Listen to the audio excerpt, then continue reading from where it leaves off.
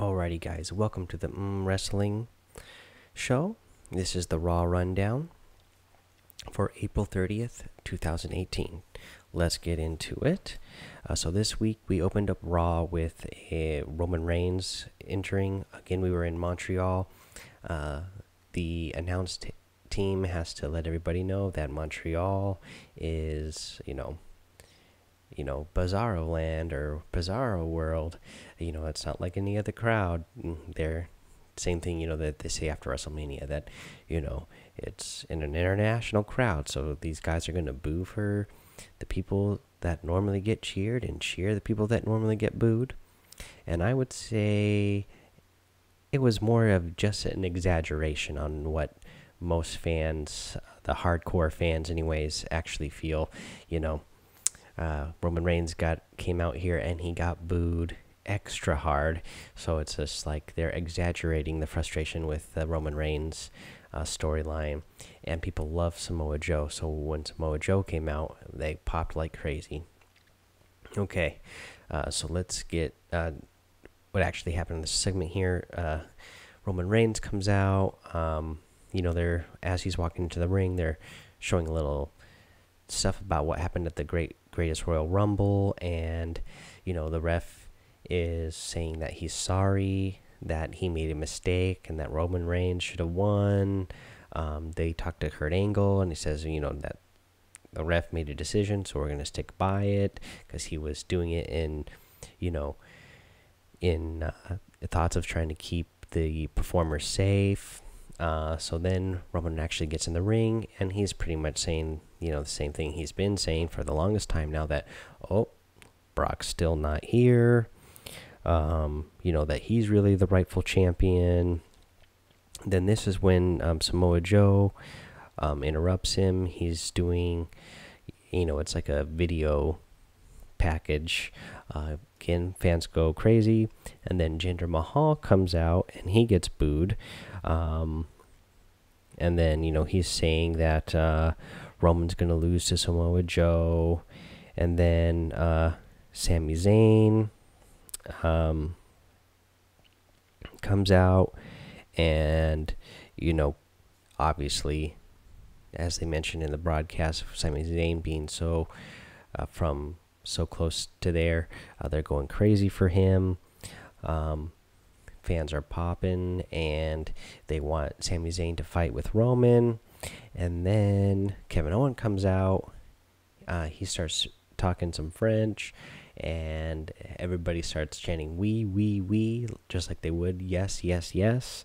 Um, Kevin says that he wants Roman, and so everybody wants to fight Roman now. Sami Zayn, Kevin Owens, Jinder Mahal, and Kevin Owens puts on a popularity contest. Seems like to me that he won that contest. Um, but then they they start attacking, and then Bobby Lashley enters to come help uh, Roman Reigns, and then uh, Braun Strowman comes out to help as well, and that's going to set up a match for later in the night. Uh, next up, we had Elias versus Bobby Roode.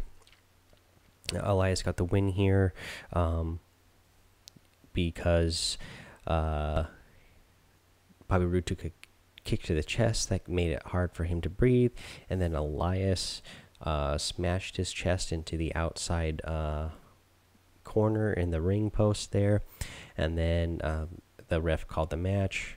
I thought this was really good segment for Elias. Uh, he looked strong in the win. At one point, he picked up um, by Roode and like did a body slam, but he like threw him across the ring when he did it. Um, I thought it was a great segment for him when he, uh, after the match was over, the ref called the match. Elias took it upon himself to go over to the microphone, grab it, and announce himself as the winner. Uh, so I thought that was really well done uh, for his character. And overall, a pretty good match. Uh, next up, we had uh, Authors of Pain in a match versus some jobbers uh, who they called uh, Jean Paul and Francois, the most, you know, French Canadian names, stereotypical ones that you can get. And uh, Author of Pains, of course, uh, squashed them here because it was a squash match. I do think the Authors of Pain look strong here. Um, and hopefully they'll just keep doing this for a little while to keep building up their character on, you know how strong they are. Uh, next up, uh, Seth Rollins came out, and man, Montreal was wild for Seth Rollins as well. Again, this is a guy that's been putting in good work, and to me, it's not the that the fans are so weird and crazy there. They just exaggerate everything that much more. Like they, like you know, how how for how loud fans are on the internet about what they like and they don't like. Montreal was like that much louder, like in person. Like they were like, okay, this is what we like and this is what we don't like, and they really like Seth Rollins. Um, and he talks about how he doesn't want to be like Brock Lesnar. He wants to actually be a fighting champion, and he wants to be there every week. Um, then Finn Balor comes in and makes a point of, hey, you know, we're two and two in matches against each other, uh, so we need to have a final match. Uh, and he wants a title match. Um, the fans vote yes, of course. And then the Miztourage enter here, um, and they want to join. They want to form a new uh, four horsemen. Um, of course, Seth and Finn say no.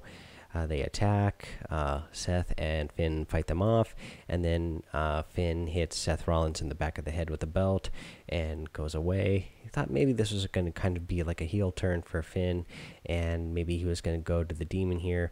But they actually like after he did this and he was walking away, Seth Rollins was like smiling at him, like, "Okay, yeah, you got me there." It didn't really make a total change for either character yet. Uh, maybe this loss uh, that we'll talk about later will change something in the future. Um, let's see here. But next up after that, we had Ruby Riot versus Sasha Banks. Um, this was actually a really good match. Uh, I thought uh, Ruby Riot got the win here, um, but she looked really strong. She is definitely the star of the Riot Squad. Again, I'm not a fan of the Riot Squad being a thing together. Uh, they, they just don't seem like they fit well maybe if they just broke them all up and had them each do their individual things, maybe Sarah Logan and Liv Morgan would um, come across better as characters. But the the whole group thing doesn't work for me.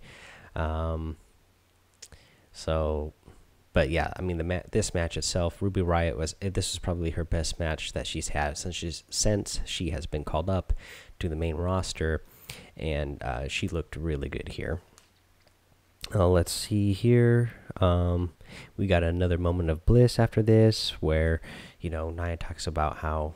Uh, I mean, Alexa talks about how Nia ruined uh, her trip to Disney, Disney World because Nia was making a whole bunch of, um, you know, short jokes at Alexa, and that uh, you know she can remember Nia, you know, just laughing in Alexa's face, and while she was holding a turkey leg in each hand, which is a thing at Disney World. So I thought that was pretty good. Uh, Alexa delivers these segments perfectly.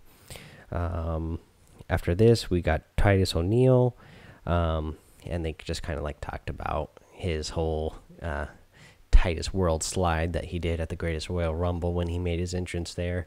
Uh, everybody's still laughing about it. I still laugh at it still when I see it, and I don't know how many times I've seen it, but every time I've seen it, it still makes me laugh and smile. Um, but of course, uh, he gets interrupted by Baron Corbin. For some reason, is what I wrote down my notes. Like I still, I like, I don't care about Baron Corbin's character or his look. You know, it's just, it's not doing it for me, which is too bad because the guy, you know, I'm sure he works really hard. You can tell that he does because he has decent in ring performances, uh, but the whole character is just not getting across.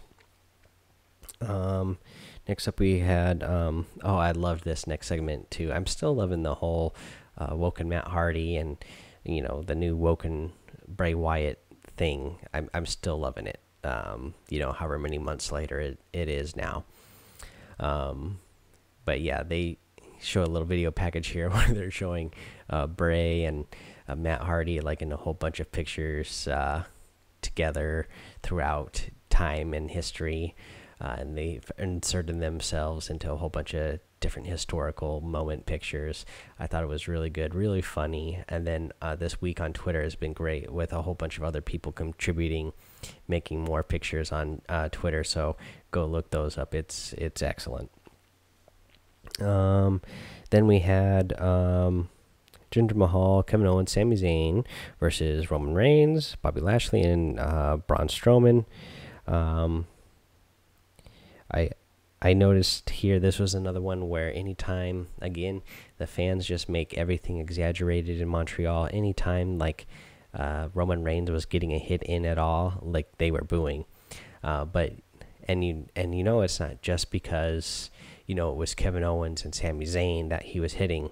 It's because they're tired of the whole Roman Reigns thing. Because when Braun Strowman got in there and started doing his thing, when uh, even when he was attacking Sami Zayn and Kevin Owens, fans were loving it.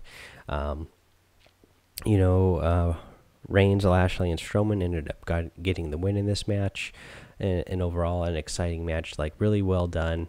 Um, you know, obviously the fans there are big fans of Kevin Owens and Sami Zayn, and uh, they put on a great match for their home crowd there, and you know the home crowd just like fed them perfectly everything that you would want for you know reactions when you're a performer like that.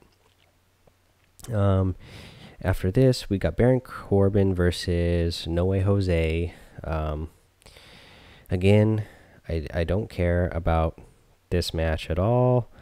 Um, and then Baron Corbin, at one point, he's looking like he's going to get the win, but Titus Worldwide comes out and interrupts uh, Baron Corbin because Baron Corbin was talking about how, you know, he didn't like the whole, you know, he interrupted Titus um, Titus's segment earlier. I didn't mention that what act what had actually happened. So Baron Corbin came in there and was like, "Oh, you know, oh, you fell down, and that's what you're known for."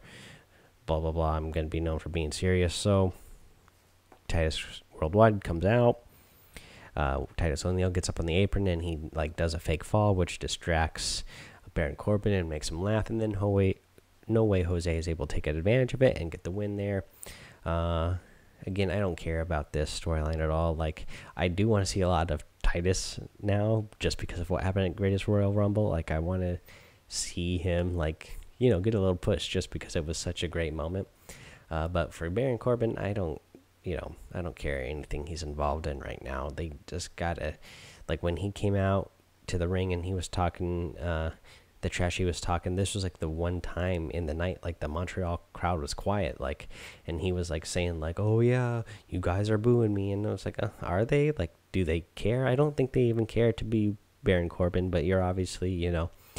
You know you got to read your script or you know rattle off the lines from your script and so you know it was just it was no good uh, but after that match, we had Mickie James versus Natalya. Alexa came out with uh, Mickie James, and Ronda Rousey came out with uh, Ronda Rousey came out with uh, Natalya, of course. Um, they're having a you know, it was kind of a short match. It was a decent match, but then uh, Ronda ends up chasing Alexa around a little bit uh, around the ring, and uh, she starts running. Uh, she tries to run up the apron, but then Nia Jax comes out, and then she runs her out of the building. And then I wasn't sure quite what we were going to get here. Um, Nia Jax gets into the ring, and she has kind of a little stare down with uh, Ronda Rousey but it turns out to be it's just like a stare down of respect type of thing and um yes Nia ends up raising the hand of ronda and natalya here and uh, but maybe it's a little future of things to come. Obviously, uh, Nia doesn't want to give up her title, and she knows um, Ronda is probably going to want to come for it someday. So, you know, possible match in the future. You know, I'm sure that's going to be far down the line, but something that we can get one day. And then let's see here. Uh, then we got our, um, you know, main event, uh, which was like the match of the night for me. Uh, Finn Balor versus Seth Rollins. Um, they always put on great matches. Um, what I really loved about this match was the finish. It was great. Um, a couple of missed um, finishers by both sides. You know, we had a reversal from Finn Balor where, you know, um, Seth Rollins he goes to do a superplex off the top rope into his Falcon Arrow, and we saw this a couple weeks ago in the lead up to the Greatest Royal Rumble where Finn Balor uh, then you know, after this uh, superplex, he rolls him up into a pin. But this time, uh, you know, he gets superplex, and then when Seth Rollins hops up to do the Falcon Arrow on Finn Balor, Finn Balor actually reverses it, and he does the Falcon Arrow on Seth Rollins. That was a great spot. Overall, there was a lot of great spots in this match. Um, again, I just want to see these guys go at it all the time. Like these are the guys that like Seth Rollins and Finn Balor are put on great matches with each other right now, and for for me, let them keep fighting all throughout the summer. I love it. Like if if uh, Finn Balor has to bring the demon back to keep some sort of storyline going, so they can keep this feud going, uh, they need to do it uh, because they're, they're, the matches these two are putting on are so good.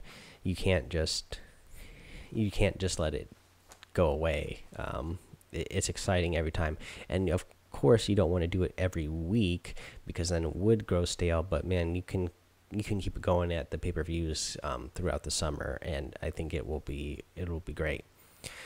All right, guys, that is the Raw rundown for for April 30th, 2018. Thank you for tuning into the show here. Uh, whether you're checking it out on YouTube or if you're checking it out on podcasts, either way, make sure you rate, review, subscribe. Um, like, comment, uh, do all those things. It helps the show out. Um, the other thing I just want to mention again, I have another podcast I'm doing right now, Daily Fortnite. Uh, it's got about 10,000 downloads um, now. So that show for me is really taking off super fast. Again, I've been doing that show for a month. Uh, so if Fortnite is something you're into, uh, go check out that show. And go check out uh, my Twitch there as well. And uh, yeah, thank you guys for tuning in to the show, and we'll catch you for the uh, SmackDown rundown later.